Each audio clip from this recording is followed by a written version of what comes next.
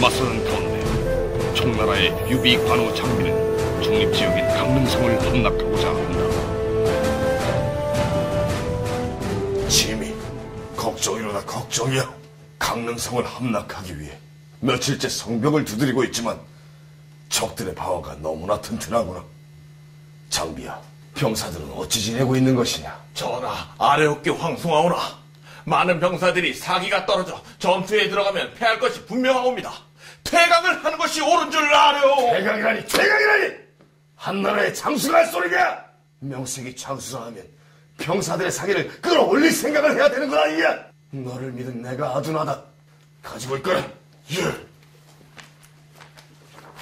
내 직접 혈서를 써 나의 각오를 병사들에게 알리리라. 할! 모든 병사는 들으라. 나를 비롯한 관우와 장비는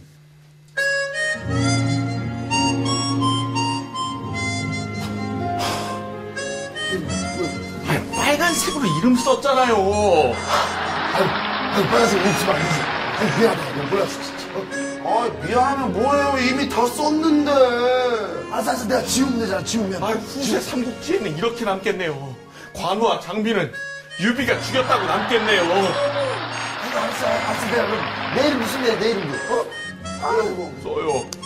아, 자, 자, 어? 유, 어?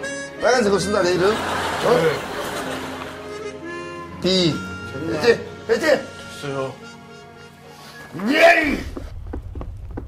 게임에 감 떨어진 분들에게 삼국지천